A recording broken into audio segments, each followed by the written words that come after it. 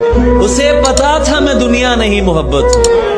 वो मेरे सामने कुछ भी नहीं छुपाती थी और उसे किसी से मोहब्बत थी और वो मैं नहीं था।